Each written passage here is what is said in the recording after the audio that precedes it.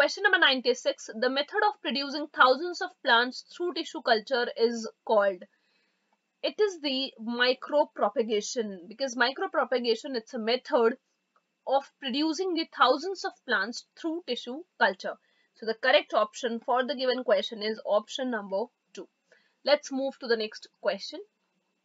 Question number 97. Which protein enriched variety of wheat has been used as a donor for improving cultivated wheat? It is the Atlas 66 which has been used as a donor for improving cultivated wheat. So the correct option for the given question is option number 4. Let's see the another question. Question number 98. Statement A high-yielding Mexican wheat were originally red-grained. It is true that the original Mexican wheat grains were red in color. So this is true statement. Statement B says that the improved variety of Mexican wheat is Sharbati Sonora. It is also true that the improved variety of Mexican wheat is called Sharbati Sonora in India. So both the statements are correct. So the correct option for the given question is option number 2. Let's move to the next question. Question number 99.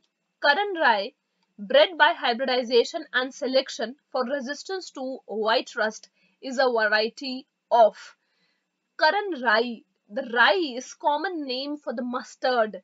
Mustard means brassica because it belongs to the Brassicaceae family. So Karan Rai is a variety of brassica which is resistant to white rust. So the correct option for the given question is option number 4. Let's move to the next question. Question number 100. Read the given statement stating them as true or false and select the correct option. Statement A. Breeding of crops with higher levels of vitamins and minerals or higher protein and healthier fats is called biofortification. It is true. What is biofortification? Breeding of crops for the higher level of vitamins, minerals, proteins and healthier fats. It's called biofortification. So biofortification increases the nutritional quality in the crops. It is a true statement. Hence option number 3 is ruled out. Statement B. The lysine-rich maize varieties developed in India are Protina, Shakti and Ratan.